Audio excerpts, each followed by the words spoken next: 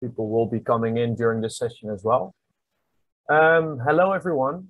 Uh, good morning, good afternoon, and welcome to day two of the International Energy Symposium edition 2022. Uh, is everybody hearing me well? Sound is good? Perfect. Uh, my name is uh, Boris Haak. I'm the chair of the TU Delft Energy Club uh, Master Students Strategic Product Design. And together with my colleagues uh, in the energy clubs of uh, IIT Bombay in India and NTU in Singapore, uh, we have designed this symposium for you. we will have a short round of introduction of each club before we begin. first off, we have the TU Delft Energy Club, uh, which is a student-led organization that connects students, organizations, researchers, uh, and institutes all on the field of clean energy. Uh, we do this by organizing, this is us, by the way, let me, there we go. Yeah, this is us. This is our beautiful team. Um, uh, we do this by organizing many lunch lectures, uh, excursions, uh, we do company visits and we do workshops to uh, solve complex cases. Uh, it's totally free to become a member. So if you're not, please apply on our website. Um, and you don't have to be a Dutch student as well. So you can follow us uh, all over the world. Um, we believe, and this is uh, very important, that students are key players to speed up um, the global challenge of the energy transition. And that's why I think it's really special that we come here together at this symposium from all over the world. Um, I would like to give the word to Matthew, who's going to introduce uh, his energy club. Hello, everyone. Uh, I am Matthew from uh, Singapore and Nanyang Technological University. Um, I will be representing NTU Clean Energy Club. We are a relatively new club and we work together with the Energy Research Institute and Earthlink in NTU to raise awareness among students, as well as um, we host, um, like TU Delft, we host uh, real world projects, have interactive workshops, and also um, open the doors for students and um, people, uh, people who are interested in energy and clean energy to be specific, um, to, to be exposed to the industry. And now I'll hand it over to um, the, the next speaker. Yeah, hello, I'm Anokhi Mehta and I'm an undergraduate student in the Department of Energy at IIT Bombay. And I'm also the manager of IIT Bombay's Energy Club. Similar to TU Delft and NTU Singapore's Energy Clubs, we, uh, we're basically a student-led community and we organize various workshops and projects in collaboration with industry and also have a lot of fun activities for those who are interested in the field of energy.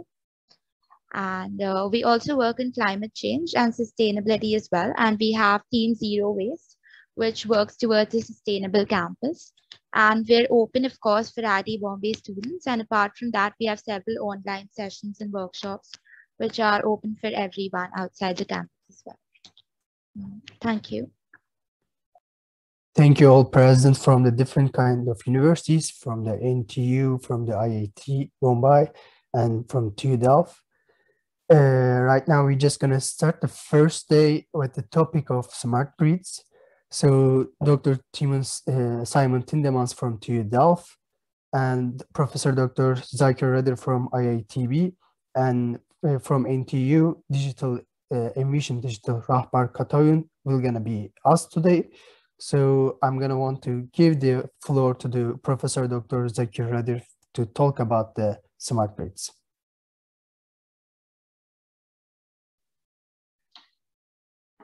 Thank you. Uh, thank you very much for um, inviting me. Good, good afternoon, um, good morning, depending on where you are. So um, smart grid is um, is as many of you would be knowing is not something very new uh, from the conceptual point of view. Um, our grid has been in a different ways, been smart uh, in the past as well. But of course, the modernization uh, of the smartness, the automation, the technological developments in, in various uh, sectors has actually made this um, you know smart grid uh, a kind of necessity to uh, handle this complex grid which used to be traditionally central power plants generating the power and then power being transported to the load center over the transmission lines. Uh, load has been predominantly passive. Uh, and that has uh, changed over the years. Uh, we, uh, we have more active distribution systems where the distributed generation embedded at the, at the distribution voltage level. Uh, the, the energy is generated you know, more at the, at the distribution level as well. So um, there, are, there is um, this bidirectional flow happening at the distribution level, which traditionally was not there. And then we are bringing in additional um, infrastructural additions to this energy system more on the electrical side. We're adding, for example, electric vehicles to it. Um, and therefore, in, in the this digital era that we are uh, currently experiencing, uh, that brings a lot of opportunity to handle this complex grid more efficiently and effectively. This smart grid concept is becoming more relevant and more of a necessity to handle these complex uh, mix of technologies connected to the electrical grid um, in a more effective and, and efficient manner. So therefore, depending on which um, uh, technical side, let us say core technical electrical side, you will have different perspective of the smart grid. If you are coming from the communication background, your perspective of smart grid is different. But altogether, it is a combination of this, this technical side of it, uh, layered over with this communication uh, side, then the digital side, data science, and all that that comes together. So this all all different aspects of this multidimensional uh, this um, uh, aspects are actually you know being uh, considered as the overall or, or overall smart grid uh, that uh, brings a lot of opportunities but at the same time various challenges uh, into it. So i think without taking much time that those are my opening remarks about um, the smart grid. Over to you. Thank you. Um, uh, in case there is any specific format, uh, please let us know. Uh, otherwise, these are my opening remarks. We will have a question session at the end of the each presentation. Thank you, Professor Zakir Rather. maybe we can continue with the Simon Tindemans from the TU Delft. Absolutely, thank you. Uh, just a, a, little point of confusion on my side. Um, should I just give some introductory remarks now, or I do have I do have like a presentation that's roughly 20 minutes or so. Uh, yeah. Should I kick that off? Yeah, do that one, or I think you are the co-host. You can share your screen with us. Your we'll do that now. Yes, absolutely. Okay. And apologies for just half for just pausing the recording. That was an accidental misclick here. uh, it, it, should be restarted now. Yeah, um, it's, it's, recording right. right now. Yeah. Okay, yeah. good, perfect. Here we go. So I hope you can all see this screen yeah. now. We are seeing All right. And my little cursor moving around. I hope yeah. then I can point at stuff. Brilliant. Okay. So uh, yeah, thank you uh, uh, for for inviting me to uh, to give this talk. Uh, I'm happy to be here. Uh, and glad to see a number of you in attendance and such a yeah, worldwide audience. That's that's amazing. So great initiative that you're all yeah collaborating on this because I, I fully agree that you know the the next next steps in change are going to come from the students uh, now. So uh, yeah, happy to, uh, to, to be here. Right, so my talk is going to be on a, a specific subset of, of the smart grid. So happy with uh, Zakir's introduction there. Um, I'll be covering some of the same, but I'll skip over those a little bit and then, then specifically focus on how do we deal with a constrained electricity grid uh, and why that's a big problem. Um, so to start, let me uh, start a little bit um, with saying that, you know, I, I, won't start at a very high level, you know, climate change and, and those things, you know that, uh, but just still some very general remarks to kick things off with. This, these are some pictures about the costs of renewables over the recent decade, right? And you see these huge decreases in some of the uh, renewables, in particular those related to solar power, right? So we have um, costs coming down by a lot into this, you know, fossil fuel cost range. Uh, and the same for offshore wind, onshore wind, uh, you know, even at the lower end here.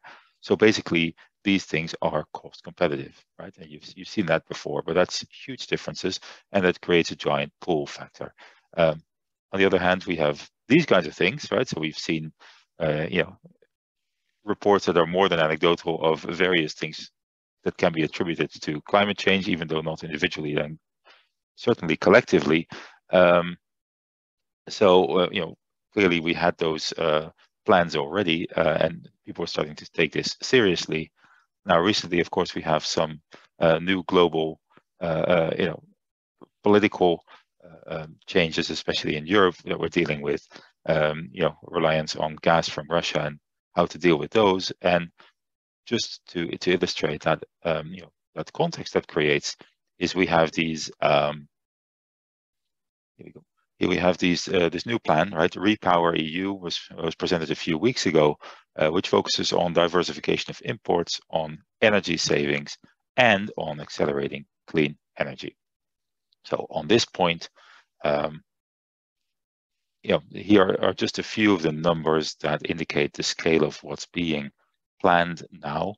Um, we have at EU-wide kind of a, a planned rolled solar PV rollout from roughly this number, 165 gigawatts peak, uh, currently to 300 plus already, well, eight years from now, uh, to 600 gigawatts uh, or more in 2050, right? So these are very big numbers, and that includes, for example, uh, compulsory installation of solar PV on, on the roofs of new buildings.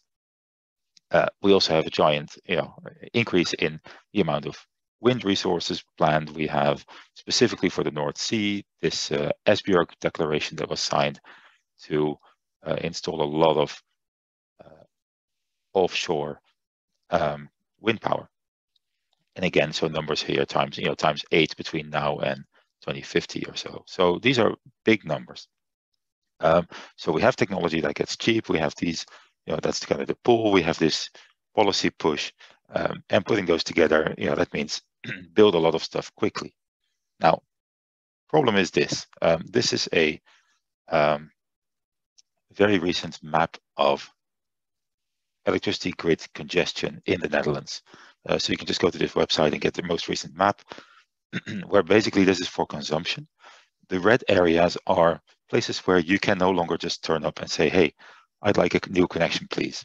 Uh, the grid operator will most likely tell you no or wait. in the orange and yellow areas, there are certain prioritizations going on already, and the stuff that's not colored, that's still fine. More seriously is if you look at the same map for generation. So this is current status now. Uh, before we implement all these nice plans, right, of rolling out much more solar PV and so on, basically, if you're in the northeast of the country and you want to install, um, you know, solar PV, then basically you can't. So there's a huge issue here. We need to do something about this because otherwise, uh, you know, all great plans are great, but it's, it's not going to work. So we have a number of challenges uh, here uh, that I split into threats and opportunities. And again, this is, I think, retreading a little bit uh, Zakir's remarks earlier. Uh, so on the one hand, we have resource constraints, um, you know, including just not the man or well, person power to install you know many cables uh, and actually resource constraints in you know in all the, the basic assets we need. We also have no historical reference for how we should actually do this. We have this you know variability, unpredictability of renewable generation, and behind it all, we have this very limited storage capacity. On the other hand, we have these opportunities, finally a sense of urgency, so that's making things move. We have all these new technologies, and indeed we have digitalization and new computational tools, AI, machine learning, uh, etc. So in there, we need to do something. And the key word here is flexibility. So flexibility is what I'll be focusing on. So flexibility for managing congestion. So before I start with a few uh, uh, brief remarks, um, and I'll, I'll, necessarily have to keep all of this short. Um, quick mini bio, just also because you know because you're students and you're at the start of this journey. Uh, here's my journey so far. Um, I started out actually doing physics, theoretical physics, then moved into biophysics. Um, and after that, I, I, decided I really wanted to tackle this, you know, this important societal problem. So I moved into uh, power engineering and worked at Imperial College in London. And from there, you know, a bit of data science on the side. And now I do what I call stochastic power systems. So everything that involves stochasticity, uncertainty, and managing those, those uncertainties in a grid. So I don't do this alone. This is the, the, the, larger team that I'm part of at TU Delft. So this is the Intelligent Electrical Power Grids team, um, headed by Professor Peter Palensky over here and lots of other people. There's more, but we ran out of recent pictures. Um, in a nutshell, we focus on four research themes in this uh, in this group: uh, intelligent power system operation, reliability and resilience, uh, flexible distribution systems, and that's what this talk is about, and then integrated energy systems. So that's all the couplings with heat, hydrogen, and so on. All right, so I'll be brief and mention, go through three small topics in a few minutes each. Um, first, I have these, uh, um, going to look at general approaches to congestion management, right? So give a very, very uh, brief uh, introduction to that, right? So if you're talking about flexibility, then people, different people talk about different things. Now, on the one side, you can and you should also talk about large flexible generators, right? Improving the flexibility of the large units that have historically been dominant in the system. So we have you know, large units uh, capable of shifting a lot of energy. And if you make them more flexible, you achieve a lot. But there's not so many of those. You can go down the grid levels, go down to grid scale storage, um, you know, large batteries that you can install various places. Again, um, more of those potentially, uh, but less that each can do. You can go to demand response from industrial commercial customers, right? So this has been done for, well, uh, you know, over a decade now uh, in various ways, right? You can uh, contract large customers to become flexible and then, you know, for example, switch off loads in case of uh, urgent issues in the grid. And finally, you have this what I call swarm flexibility, all the little bits of small energy consumption or electricity in this case um, that you may be able to shift, you know, small bits, you know, tens of watts to kilowatts, um, and you have millions of those. And that's the long tail of this flexibility. It has a lot of potential, but you need to think carefully about how you unlock it. So if you want to reach this swarm flexibility, how, you, how are you going to do this? Um, now, here's options in a nutshell. Um, you can think of it in, in, in, two ways, or this is the way I, I'd like to think about this. Um, when do you want to solve the problem? And how do you want to solve the problem? You can solve it long-term in advance, you can solve it day ahead or you can solve it in real time. And you can solve it using price signals, right? So you say, well, this is expensive, that's cheap. So you incentivize people to, or devices to do the right thing. Uh, you can have markets in which you agree on certain changes in demand, for example, or supply. Or you can have direct load control where you just say, well, I hook you up to this device. And if there is any problem, we're going to turn up your, uh, your generation or down your generation or turn down your demand or so on. And in this space, you get a number of proposals. I can talk you know, for a long time about each. Um, right now, I'm going to just be mentioning static tariffs here. So that's long-term price signals and local flexibility markets. Um, so those two will come up. Happy to talk about others later. So let's look at those static tariffs first, right? So if you get your monthly energy bill, and I, I guess this might differ depending on where you are, uh, but typically you can think of this as consisting of a few parts, right? So part of that is your cost of energy. Part of that is various, you know, VAT, green levies, you know, all kinds of stuff. And there's this chunk, which is the network tariff. So these are payments that you make to the network companies to transport energy from wherever it is, it's produced to your home, for example. Now you can look at, you know, what, what do you want this network tariff to do? What are the objectives? And at a high level, you have these five requirements, right? You want them to often, at least in this liberalized system, you want them to pay for the actual network, right, collectively. So all our payments should pay for the network. We want them to be cost efficient, which means that somehow they should incentivize good behavior. Um, you want them to be cost reflective, that if I use a lot of power, I might need to pay more. So that's reflective of the cost I incur to the network. But you also want to you know, satisfy non-discrimination uh, requirements and some degree of simplicity so that people actually understand what they're paying or what they will be paying. If people don't understand how their actions relate to how much they pay, that's not very useful and anyway it might upset people. So that's these are very general requirements and the concern is that those things are fundamentally incompatible in some level. So if you want simplicity, that basically goes against everything else, right? You can't have exact cost efficiency, cost reflectiveness, and so on, and be simple, right? Because the real cost you know, depends on everything. Um, you can't necessarily have non-discrimination and be cost reflective, and I can talk a lot more about that.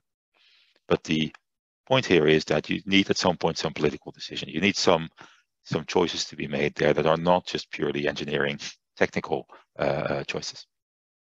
So you can do this kind of analysis for various tariffs, and we did that in this paper. I'm not going to go through that right now, but you can, you know, qualitatively or quantitatively try to compare, you know, how how different tariff options score on these uh, requirements, and then you can, you know, use that to hopefully inform decisions there. So that's one.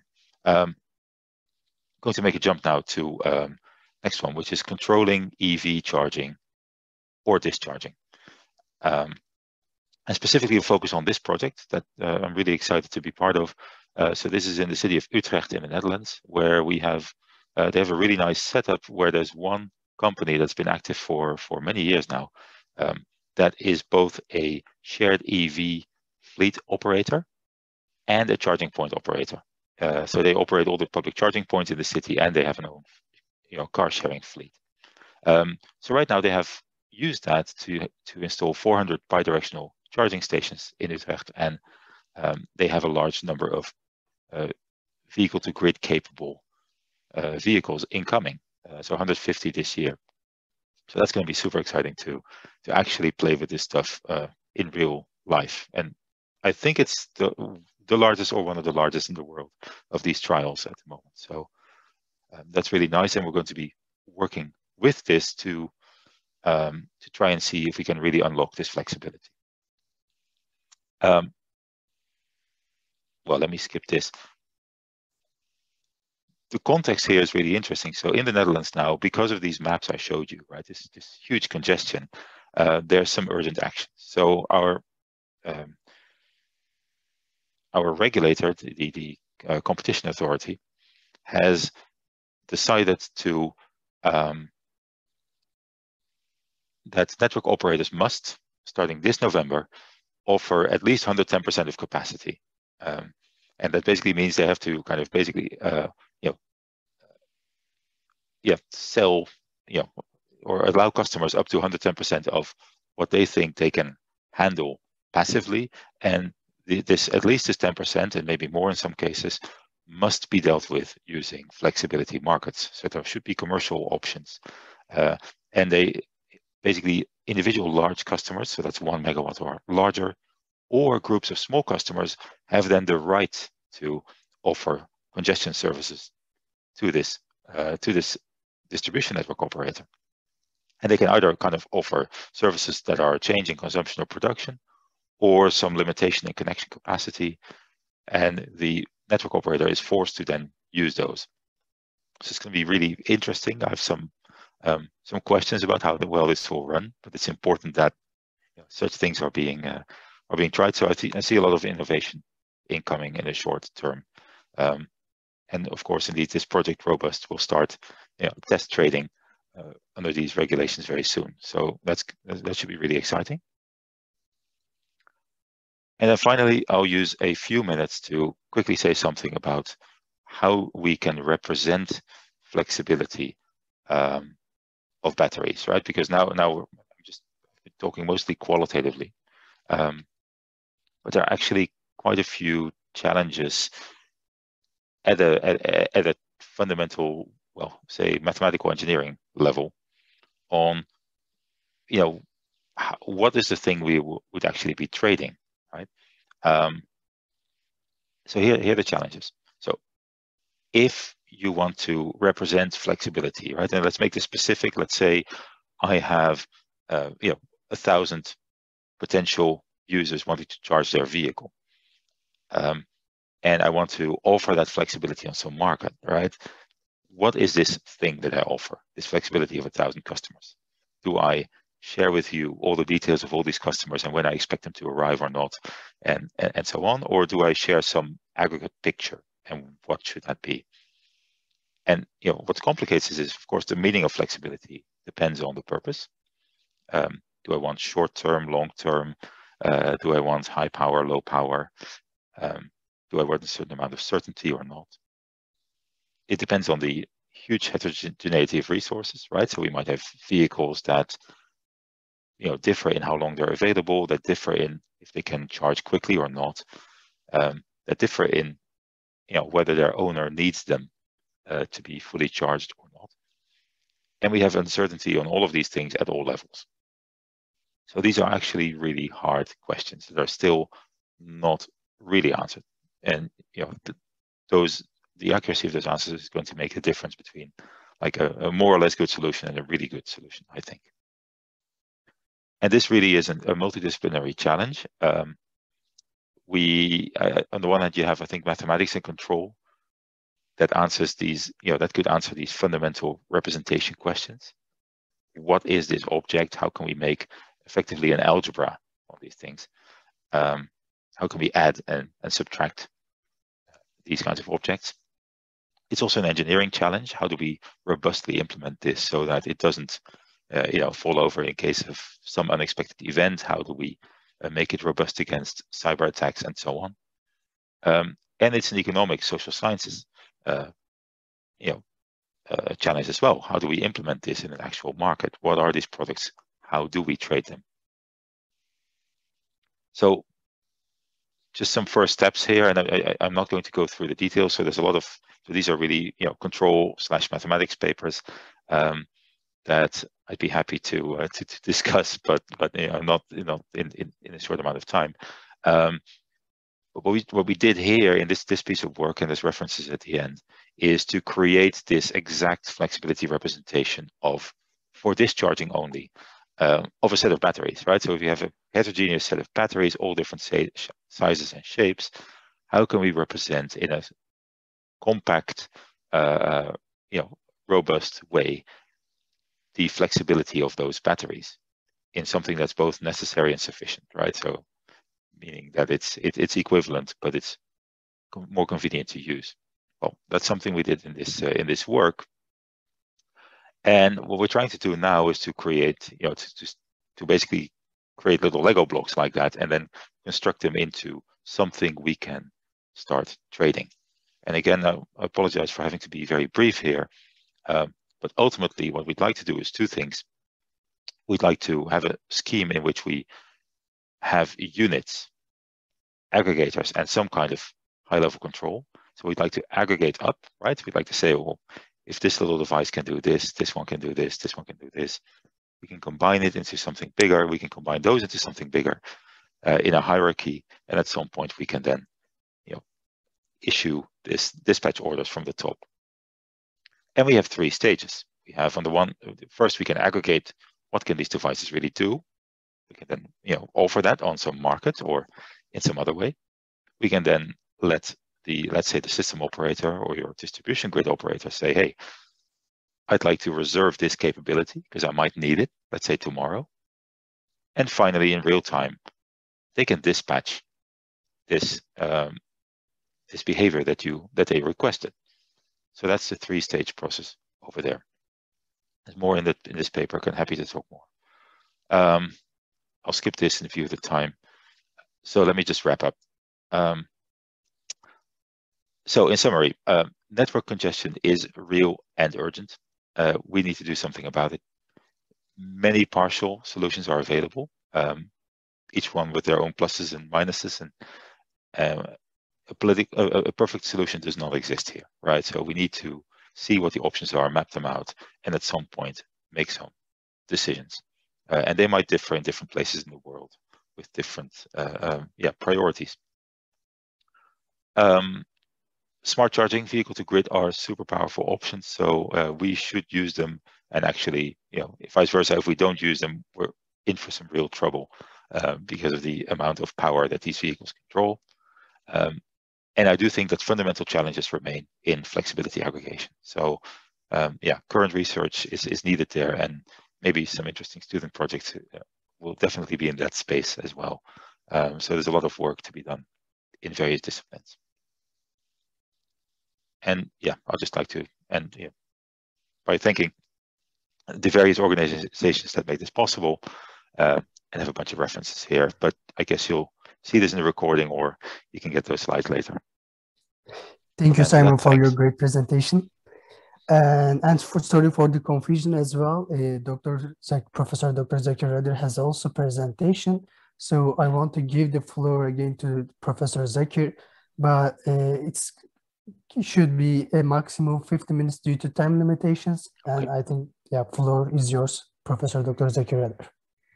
I'll stop sharing. Apologies, I had 20 minutes in my mind, so uh, that's why I went for 20. Here you go. Yeah. Thank you. And um, sorry for the confusion. I was not fully sure about the format. I think now I'll just share my slides.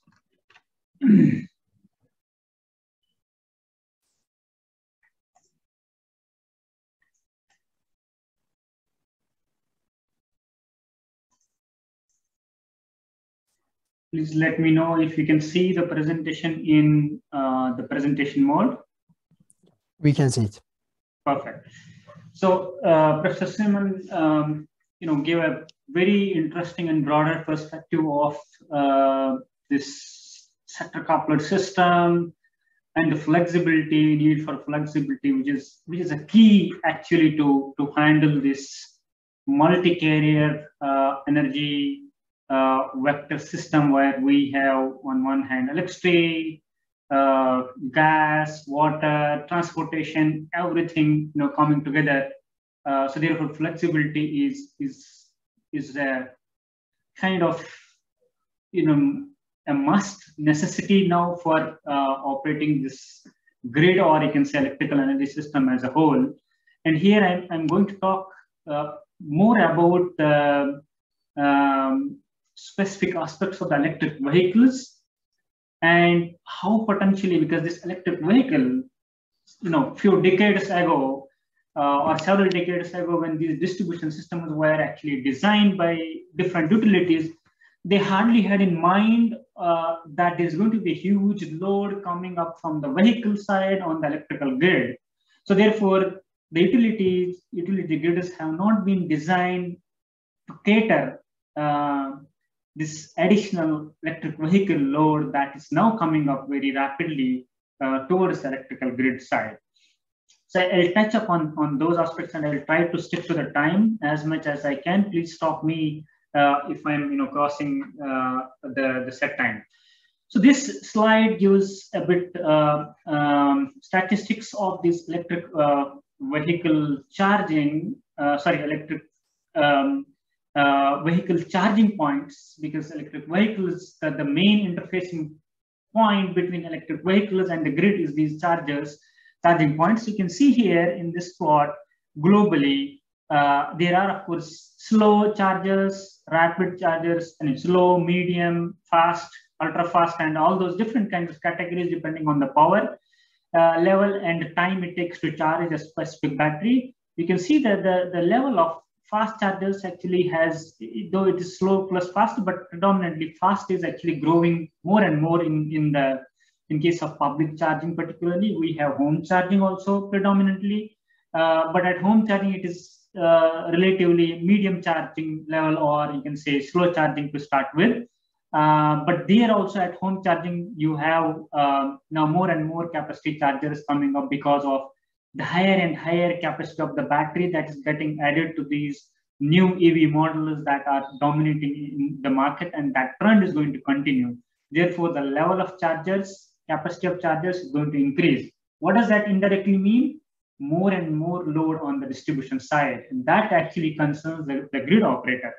Uh, earlier presentation was mentioning about congestion, and this is going to increase the congestion in the distribution system as you add more and more you know, electric vehicles um, into the system.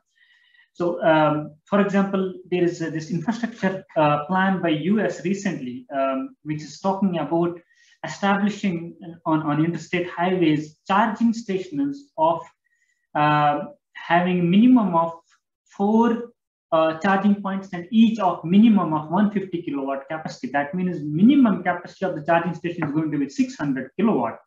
Now imagine that so many such charging stations getting connected to the grid is, is actually a huge load on, on the grid side. Okay, so uh, this is the, the statistics of the Indian uh, EV ecosystem. We have a uh, little over 100,000 pure electric vehicles and around 4.5 um, uh, 400, you know, uh, 464 100 uh, these um, PHVs, that's um, plug-in hybrid electric vehicles. And at the moment, the, the majority share of, you know, more than 72, 73% of these electric vehicles are two-wheelers and three-wheelers uh, in the country. And uh, four-wheelers are actually growing as we move forward. And we also have uh, some ambitious targets to to move towards this electric mobility in India. And there is a lot of development happening uh, at the moment in, in the electric vehicle ecosystem space in, in, Indian, uh, in India. So uh, to give a glimpse of the Indian grid, we have a total installed capacity of around 400 gigawatt. Um, and you can see we have come a long way from around 1 gigawatt uh, to, to around 400 gigawatt, which is actually growing rapidly. And peak demand in India is around 207 gigawatt experienced recently um, uh, during the summer season because again uh, there was an unusual uh, hot weather this time and we had a lot of increase in, in the in the peak demand experienced by the country. Coming to the renewables we have had a target of 175 gigawatt of renewables by 2022 um, and 450 gigawatt we have target by 2030 from renewables, which is primarily solar and wind, 500 gigawatt from non-fossil fuel-based sources. At the moment, if you uh, count uh, sorry, hydro also in renewables, then we have around 150 gigawatt of renewable capacity. But if it is solar and wind only, then it is around 110 gigawatt installed capacity.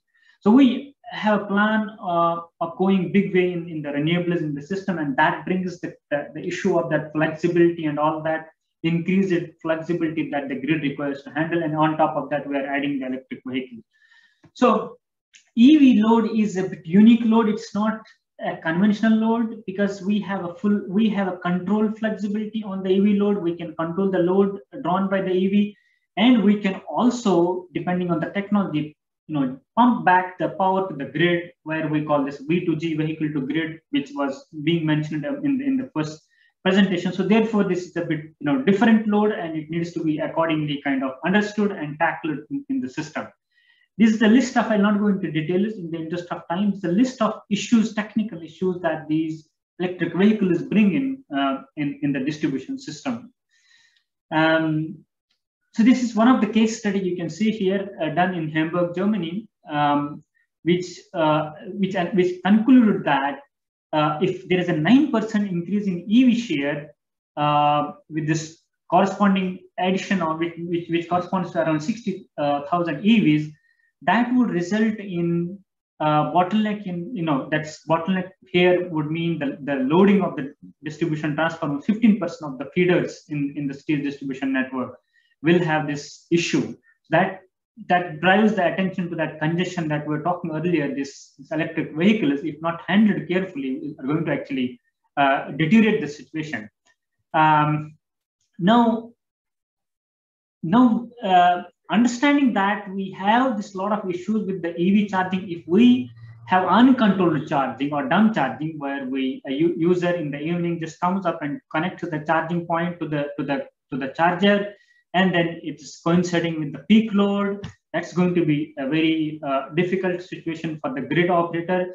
So therefore, how to handle this additional load of EVs that is being brought into the electrical side?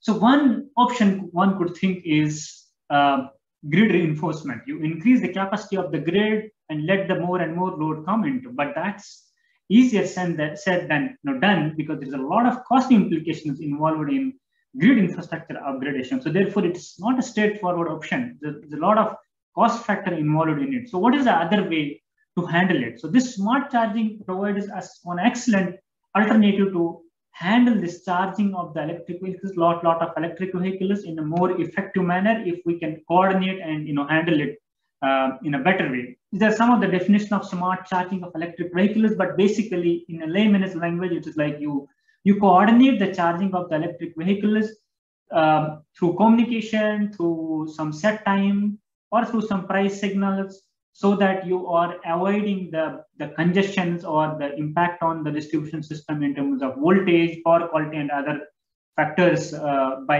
a coordinated or smart charging of these electric vehicles. These are some of the different types of smart chargings. You have, uh, for example, uncontrolled, which is creating an issue uh, with, with this the, the distribution system as well as the transmission system. And then you have some in case uh, you know, basic control where you have simple on and off operation. Uh, and then you can use it, it with, for the grid support. Uh, you have unidirectional controlled charging, which is smart charging, where you have only charging capability, but you can control how much current the charger can draw from the grid. So you, that gives us a flexibility to control the load drawn from the grid. And then you have vehicle to grid, where you are able to inject back the power to the grid, and you can potentially help in handling the peak power uh, events during the evening hours. You can, you know, you can pump the power to the grid and and uh, address those congestion issues.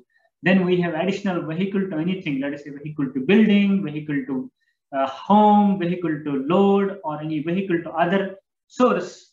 They can you know, supply locally from, from the battery of the electric vehicle that remains, if it's a private vehicle, unutilized for most of the time during a day.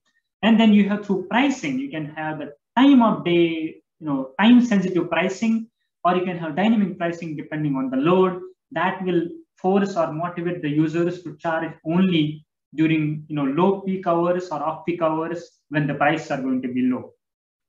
So we have done some analysis at IIT Bombay in the smart charging. So we we, we categorize the, the requirement for smart establishing smart charging into three you know factors here. Technical requirements are there, which are very important core to this issue. Then there is equally important that regulatory requirements should be. There should be a sufficient regulations in place which will allow this smart charging to take place. And then, of course, the role of the stakeholders is, is a key factor in, in, um, in, in, implementing uh, or realizing the smart charging of electric vehicles. This is one of the case study done in by one of the utilities in, in US where they are addressing this duck curve. I'm not going to into that duck curve issue. Most many of most of you probably, I assume, are aware of the issues of this duck curve because of the solar PV penetration in the system. They are trying to address this duck curve issue by uh, smart charging. It's a time-based tariff. Uh, you can see during off-peak hours, the price is low, which which encourages more uh, users to charge their electric vehicle. And during evening hours, when there is a peak load here, you are charged heavily and you are discouraged to charge around that time. So they are trying to address this belly issue of the duck curve and this flexibility issue here, the ramp requirement by, by smart charging uh, of these electric vehicles. Uh, similarly, there is one uh, case study in, in UK, which is also you know, addressing the same issue, trying to utilize these electric vehicles to help the grid operator manage the grid. Uh, this is one of the case study in you know, Amsterdam, uh, where there is these 456 charging stations with around 912 charging points uh, being used to actually uh, have smart charging and uh, address some of these uh, issues that the grid is actually experiencing either originally without EVs or being aggravated by, by electric vehicle uncontrolled uh, you know, load. There are other various um, various um, uses that this vehicle to grid or vehicle to anything can help us in, in managing the grid not only managing the grid but also can help us accommodating more renewable energy uh, uh, generation in the system uh, so therefore to conclude uh, vehicle electrification is is rapidly growing that we see every uh, almost in every country, of course, at a different pace. For example, some of the European countries are much ahead of you know some of the other countries, uh, but the the the the noise or the activities happening towards the electric mobility is happening almost everywhere. Uh, then, of course, it brings various challenges, technical challenges and non-technical challenges that need to be addressed. And smart charging actually, you know, provides one of the uh, effective alternative option to handle this lot of electric vehicle load. Not only handle this electric vehicle load, but also uh, help in better renewable energy integration and grid management because of its capabilities that actually actually it offers uh, due to the fact that it is a unique type of load, not any conventional load where you have a control on the charging and you can potentially also pump the power back to the, to the grid. So um, with this, I would uh, like to conclude. I hope I didn't take too much time uh, and I will leave the floor back to the, thank you. Thank you so much, Professor Zakir Rather. And it's very nice and very appealing uh, presentation about the EV charging.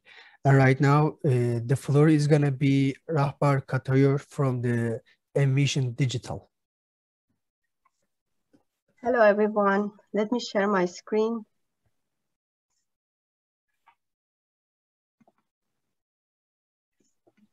Yes, we see it. Okay, great. Thanks. Okay, hi everyone. My name is Katya. I'm from Envision Digital. Uh, a little background about myself. I joined Envision in uh, January 2020, uh, and uh, currently I'm leading the grid optimization team, uh, which is uh, mostly focusing on designing of algorithms for the optimization engine that are key building blocks of um, our um, smart grid solutions. So before I go to, uh, to more technical stuff and provide you details about our product, let me just uh, give a quick interview uh, uh overview of the Envision. Envision Group is a global leading company in green uh, technology and uh, aims to solve the challenges for the sustainable future um, uh, specifically, Envision Energy is the uh, world uh, leading uh, smart wind turbine uh, as well as battery energy storage system provider. Uh, it has over more than the 3 um, gigawatts of wind power in operation. Envision AESC provides AIoT battery energy storage solutions. It's um, lithium ion uh, batteries uh, have installed over 600,000 electric vehicles all around the world with zero cri uh, critical incidents over the last 11 years. Uh, Envision Energy uh, is a leading software company providing digital solutions uh, for energy systems. It's headquartered in Singapore and um, connects um, more than 110 million smart devices uh, with over 360 uh, gigawatt power through its flexible AIoT platform. Uh, Envision Venture and Envision Racing are also part of Envision Group. Uh, Envision Digital has a very strong global uh, presence. It um, has uh, more than 45 customers, over 45, 450 customers, over 45 countries, um, um, we also um, uh, cover more than 80% um, of the uh, Fortune uh, 500 companies. Basically, 80% of these uh, Fortune uh, 50, uh, 500 companies are our client. we also cover 30% of the top energy and utility companies. about our talents, um, Envision Digital has almost 1,000 employees or with uh, 29 nationalities, over 12 offices all around the world, specifically in Singapore, China, and several offices in Europe, uh, such as um, Netherlands and UK. Uh, as a uh, leading company in uh, green tech, um, uh, R&D is of high importance to us. That's why more than 75% of Envision Digital employees are R&D engineers. Uh, we have several um, projects uh, globally. Uh, so due to time constraints, I cannot go to each individual one. Let me just uh, open up one of them, uh, which is uh, quite interesting. The one which is the Keppel project is um, for the Keppel Offshore Marine in Singapore. so basically this project um, tries to integrate uh, battery energy storage systems, solar PV panels, as well as the LNG generators on the floating living lab. So floating living lab is basically a floating deck and floats, uh, which floats on the water and can uh, uh move around and support the different uh, shipyard load systems. Uh, so for this system, uh, the, besides the objectives of energy efficiency, how to optimize these different uh, assets together and provide optimal operation planning uh, for not only uh, hours ahead, but also to minutes and seconds resolution. One of the key challenges is uh, how we are going to keep the system and all this optimization running whenever there is um, the limited uh, or in, uh, limited or intermittent connection with the cloud.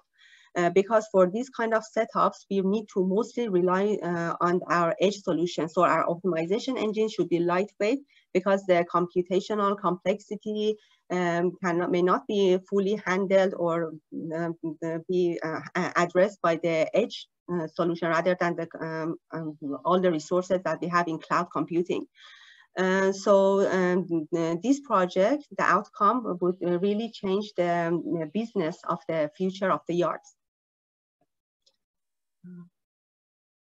Let me go back. Okay. Uh, so here is one of our key products and the name is uh, EnOS Flex. Uh, is actually the, um, uh, for the, um, the, management and optimization of behind the meter distributed energy resources. Uh, it has three key sub-products, uh, microgrid controller, uh, which is running on our edge, and uh, AI microgrid and uh, trading advisor, which is our VPP, which are uh, which are these two are running on cloud.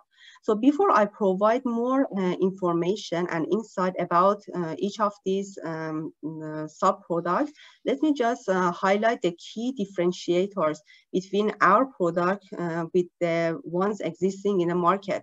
So one key differentiator is that um, typically we have several type of assets. So we have a very smooth and efficient asset onboarding process.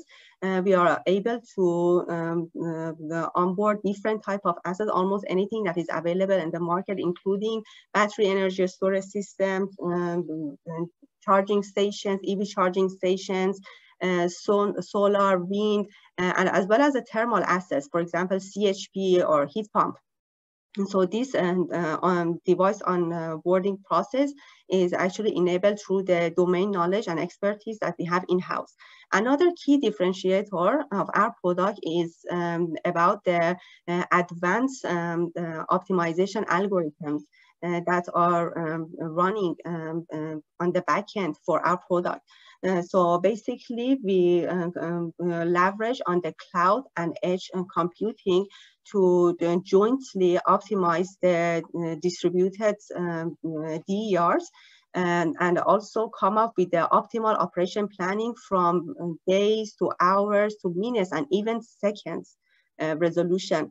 And uh, our solution is also uh, very flexible. For example, we can enable different features peak shaving, price arbitrage, um, minimization of the carbon emissions, maximization of the renewable self-consumptions, uh, as well as different um, uh, market participations like uh, regulation market, reserve market.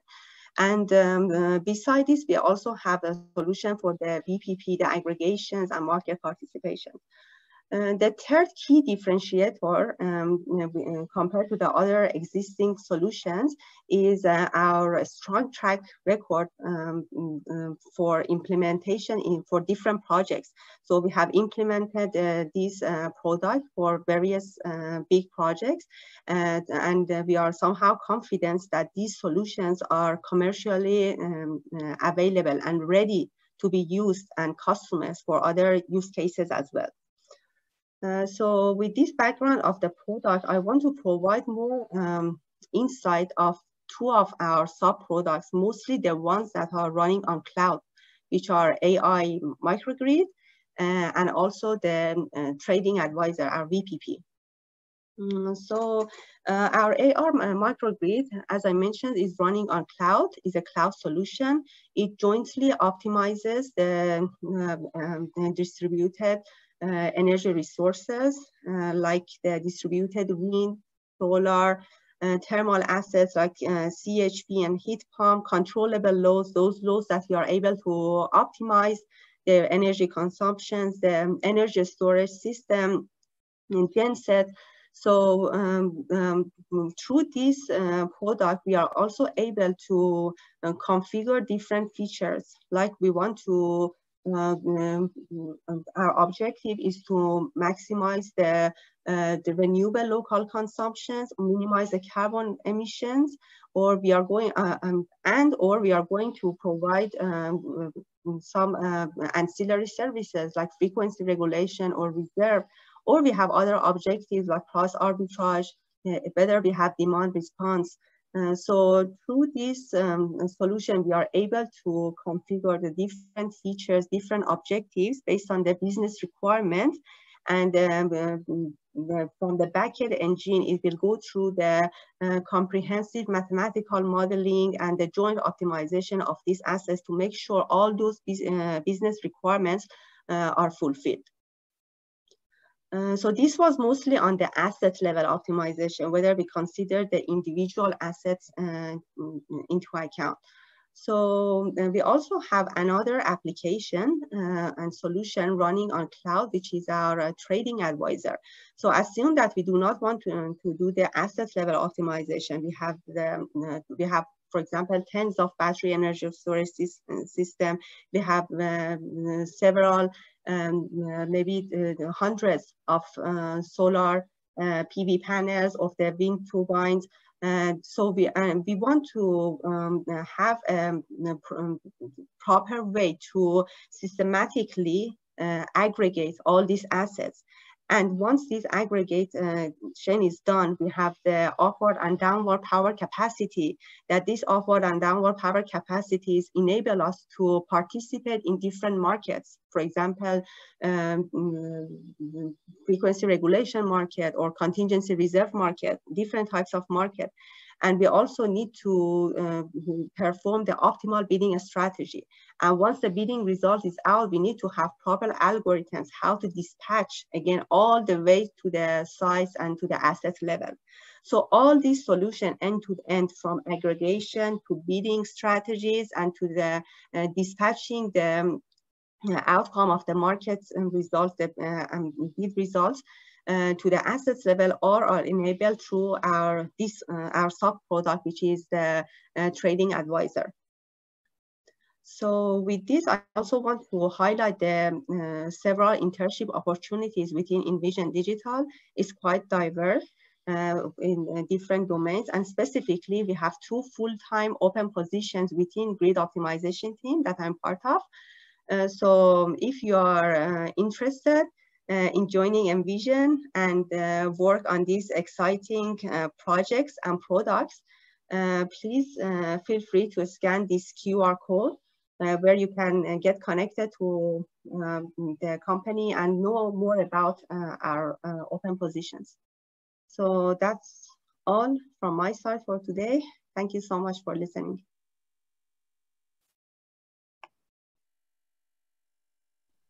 Thank you so much, Rahbar Katorin, for your great presentation. Right now we have a 15 minutes Q&A session. So if you have any questions, uh, you can type into the group chat and I can ask directly to the professors and the Rahman, or you can just unmute yourself and just raise your hand. I'll unmute you and you can ask directly. The first question is to Professor Tindemans about, uh, it's in the chat, and but I'm gonna read it again. How do you expect the grid to behave with lots of EVs drawing charge simultaneously at almost at the same time? Um, yeah, thanks for the question. Uh, um, I, I, guess uh, um, SAK also showed uh, uh badly if they if they if you really do do do do dumb charging in a certain uh, you know take the current grid, add lots of EVs, and then charge at the same time, then things go wrong. Uh, that, that, that's clear. So um, I expect that we need to do something, right? So you don't just get here from here to there in one day. Um, we'll install these things, uh, and I guess what might happen, and one example is this flex power thing, is is where you simply limit the charging rate. Well, I guess that's you know that works perhaps to some extent, but it's very suboptimal. Um, so yeah, what we hopefully will do is indeed find a way to efficiently, uh, uh, yeah, to efficiently spread out these charging uh, moments depending on the current capacity in the in, in the grid where you are. Um, so that's yeah, that's what I hope we should do, but it doesn't, know, uh, it doesn't happen by itself. So we have to actually act for that. And I, I guess the, the big challenge there is um, also managing people's expectations, right? So how can we manage there's a kind of social technical aspect here. Um, know, what when you know, what do people want in, in terms of their charging uh, uh, charge level uh, when they park a vehicle, and how do we integrate that into into the system? Uh, do we expect them to uh, indicate whenever they leave their vehicle when they will need it, and then it becomes basically their fault if they don't say, you know, if they don't give the right information, then it's okay.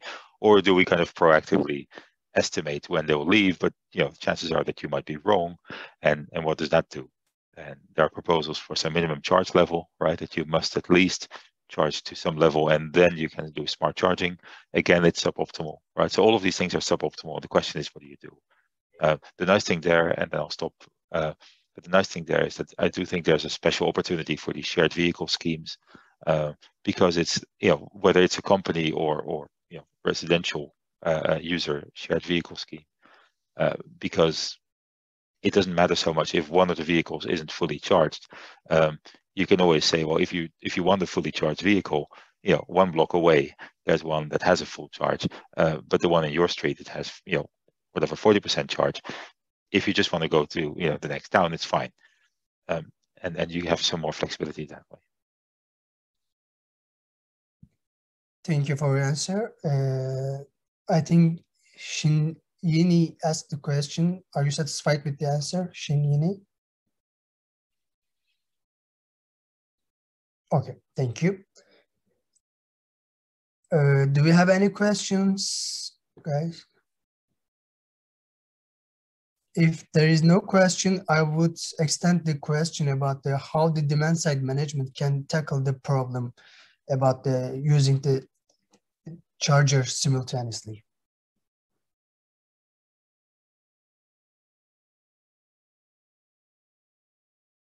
I'll let one of the other speakers take the lead. Yeah.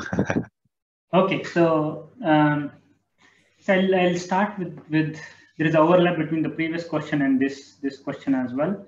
So I think to some extent that that question was answered in my presentation how we can tackle this lot of charging EV charging load through smart charging um, we can coordinate the charging of electric vehicles in such a way that it does not overload the network, the distribution network that we have. Now, if you leave it uncontrolled, as I mentioned, what would happen is EV users will normally charge it at the evening hours, and evening hours are peak hours uh, in terms of the load. So therefore, it's going to deteriorate the, the uh, congestion further if we leave it uncontrolled charging. This smart charging offers an option to uh, allow a coordinated charging. So for example, what does that coordinated charging mean? You do not charge your electric vehicle in the evening peak hours. You could, because during the night you anyway are not going to use the electric vehicle if it is a home charging. Um, you could actually leave the vehicle connected to the grid and the, the, the charging point can be set such that it charges after the peak uh, period is over. That is, let us say, late night hours. For example, 11, it varies from city to city and country to country. For example, 11 11 p.m. Uh, to the midnight in, in those hours when the load is going to be low. So therefore, you, you kind of shift that load from the peak hours to the off-peak hours, and that improves your peak to average ratio uh, of the you know, uh, daily load duration curve. Uh, that's one way. And now this can be done, as I mentioned, one simple way, which is, for example, in India and many places it's already in place. In some of the parts in India also, we call it time of day tariff. Means you have high charging prices, the, the tariff for the electricity that you, you use for charging the electric vehicle in the peak hours is high. And during the off-peak hours, it is low. So then you are kind of motivated or forced to charge your electric vehicle during off-peak hours when the distribution system is having a good enough margin to, to provide the, the load to your you know, electric vehicle. Now coming back to this demand response. So electric vehicle load offers an excellent opportunity for demand response. As I mentioned it, we have it categorized in terms of the control capability electric vehicle charges into three categories. One is V0G, which is a dumb charger. It doesn't have any control. It just got the power and you connect it to the grid. Second category is V1G, which is a smart vehicle, uh, grid to vehicle charging. Means you are only, it has a capability of unidirectional power flow. It draws from the grid and charges your vehicle. But you have a control over the current, charging current that you can draw from the grid.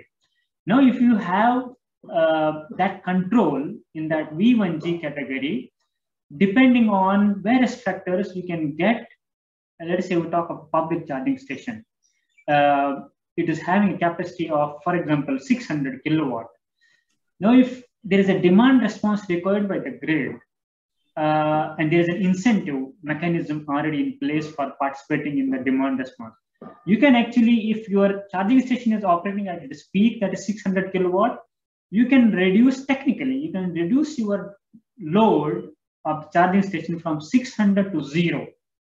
So you have that flexibility. Of course, if provided the, the constraints permit you EV user constraints and all those factors come into picture, but you have the capability of reducing the load by 100%. And if you have enough incentive mechanism and market in place for demand response, you can actually actively participate in demand response. Third charging category is vehicle to grid, where if we take the same charging station of 600 kilowatt capacity, it can technically change its consumption from 600 kilowatt load from drawing from the grid to 600 kilowatt pumping back to the grid. That is actually 2x uh, change in power. That around is you know 600 into 2, uh, 1200 kilowatt change in power. You, you, you are actually net injection, if you see from the grid side, is 1200 kilowatt because 600 kilowatt is reduced and 600 is being pumped to the grid. So if you have V2G category, they can participate in, in uh, you know that that as well uh, in the demand response very actively. But of course, it needs incentive mechanism, market in place, it needs regulations in place. For example, in India, at the moment, the electric vehicles cannot participate, you know, connect electric vehicles connected at low voltage level of small capacity cannot participate in demand response. But higher capacity loads can participate. Similarly, we do not have at the moment in Indian market uh, V2G capable electric vehicles. But of course, several European countries do have them.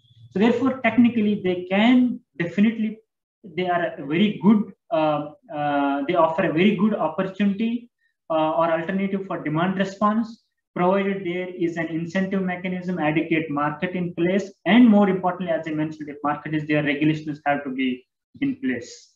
Thank you. Thank you, Professor Zakir. The next question is going to also be similar to this topic because it's just going to, uh, Jacob is asking about the base load and the peak charging. So I'm going to ask the question, what are some of differences in infrastructure that needed for base load versus peak charging? Also, how can we incorporate renewables in the charge mix as well? Okay, so, so is it question for me or yeah, yeah any speaker can get it. Okay. You have one specific question to envision for the next so, question. perfect. So I'll, I'll just go uh, with this and then Simon can add to that. Um, see, um, infrastructure that's needed for base load versus peak, uh, peak charging. Um, see, the infrastructure, even without, assume the, the conventional grid without electric vehicle load, it also has off-peak load and peak load. As I said, normally there are two peak out, peak loaders during the day. One is morning peak and second is evening peak. Evening peak is more than the morning peak. So peak, the, the system is always designed depending on the peak load because it should be capable of carrying out that much power. But what is EV charging doing is it is if it is uncontrolled, it is going to add to the to that peak load, which potentially may not be handled by the existing grid. For example, I'll give an example. There is a distribution transformer which is loaded at 90% or 85% during the peak load hours. There is hardly any margin left to add more peak load. Now, if you are adding electric vehicles to that, it is going to actually potentially uh, breach the, the transformer limit. It can overload the transformer, which grid operator will not allow. So, means essentially, you will not get uh, connection approval, electric vehicle charging point connection approval in, in such cases uh, until unless there is a grid infrastructure in place. Now, if it is a public charging station, there is a possibility of that public charging station operator itself is, is uh, paying for the grid upgradation. Uh, that's a possibility. But as a residential user, private user, you are hardly going to actually provide that. But in some countries, there is additional charges that are being paid by the EV users even for the home charging. So that brings in the difference, you know, with the conventional peak load, the infrastructure, and the electric vehicles. So wherever there is a margin, there, there are places where your transformer is currently being oh, you know, loaded up to 50% or even less during the peak load hours without any EV charging. So you have a margin left there in the existing transformer. So therefore, as long as it is not overloading the transformer, the distribution utility will allow EV chargers to be connected to that. Now coming to the next part of the question that is renewable energy based uh, this EV charging, which is very actually very important and relevant aspect because all the motivation, primary motivation of shifting the EV the transportation from conventional ICE vehicles to electric mobility is all because we want to actually reduce the carbon emission. Now, if your electric vehicle load is being catered by fossil fuel based plants, the whole motive that is behind this whole paradigm shift from ICE vehicles to electric vehicles is not actually served. So therefore, it is very important that this electric vehicle load that we are adding to the grid are actually supplied by the renewable energy. So now how that can be done? There are different ways to you know, ensure that charging electric vehicle charging is done by renewables. One is that you have co-located uh, solar PV or wind renewable energy plant. So let us say you have a charging station uh, which has 100 charging points or 50 charging points of different capacity. Now it can have its own solar PV plant or rooftop PV system within its premises and then it caters to a large extent the charging load that's you know used by the by the charging points. The other option is that you buy renewable electricity from from a generator which is gener if it's generating electricity from, from somewhere else, if the market permits that. For example, in Indian grid, we have the concept of open access. Uh, a, a, a customer load uh, having one megawatt and above. Now that's actually changed now. One megawatt or some minimum threshold and above, you can buy electricity from a renewable energy plant which is located somewhere else. So through that open access or through the electricity market, you can actually capture these renewables for charging your electric vehicle. Uh, and there are various analyses which show that renewable energy based charging is uh, can potentially be you know very cost effective. So therefore, it is very important that this electric vehicle uh, load is served by renewables, whether by co-located you know, plants, uh, generation plants, or uh, by integrating into the market and buying the electricity from anywhere in the grid uh, uh, from the renewable energy plants. So hope that uh, answers the question to some extent. Thank you, Professor Zakir. Since we have only limited times, it's already uh, out of our time, but I want to ask one specific question to Envision. Does Envision work with nuclear energy or are there plans for Envision to work with nuclear energy? Yeah, the uh, answer is no. So nuclear is not part of our roadmap. Okay, maybe I can continue for a few minutes. Uh, from the Chan Rick, to each of the three speakers, how are smart grids related to the circular economy? What are the possible impacts on the circular economy on the local, regional, and global scales? Justify in detail, broadly, and deeply. Unfortunately, for the deep answer, we don't have enough time, but you can answer. Yeah.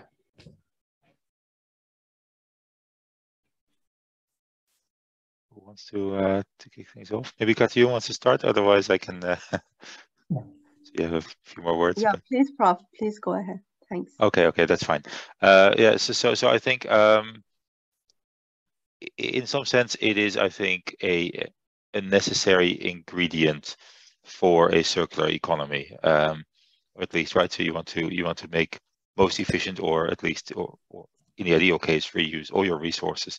That also implies, I guess, you want to use your resources as efficiently as as possible and that means that yeah if you rather than just you know building a grid to cope with whatever fluctuations you try to manage those fluctuations to to fit within the grid you have. Um, so there i think you know in that direction it, it it's essential. Um, doesn't mean that smart grid is necessarily uh, circular uh, or sustainable. Um, so yeah that's that would be my answer in the time we have. Hope mm -hmm. that uh, hope that's sufficient uh, for the last question, maybe I can ask this one and we can conclude. It's for Simon again. Do you think biofuels hydrogen vehicles will disrupt the EVs and nullify the investment in increasing grid capacity for EVs? Um, good question. I think um, I think not uh, for multiple reasons. I think we don't only we do not only do this for EVs, uh, the the investments. Um, so even if everyone were, were to switch to hydrogen, etc., we still have, uh, for example, heating and cooling uh, moving onto uh, electricity, especially heating in these uh, in countries like like the Netherlands or most of Europe, um, moving to uh, from gas to to to electricity. So that's uh, that's also necessary for that. Second, it, and again, I'm not an expert on this, but I do have the impression that for most short trips, electricity battery electric vehicles rather than uh, hydrogen vehicles seem to be the way to go, uh, unless some other resource constraints, of course, pop up. Maybe that would change things. Um, I do hear that there's there's a, a good niche potentially for long-term transport uh, on hydrogen, but I'm not sure uh, on the details of that. So I think um, I don't see that as the biggest risk no, or a, as a large risk. Thank you. Thank you, Professor, for great uh, presentation, and thank you for uh, audiences as well, because they are uh, sharing their valuable time with us. So we will conclude the first round of today, and we're gonna continue at 11.30. Uh, that's why we have 10 minutes, five minutes uh, break right now, coffee break. Enjoy your break and see you at 11.30.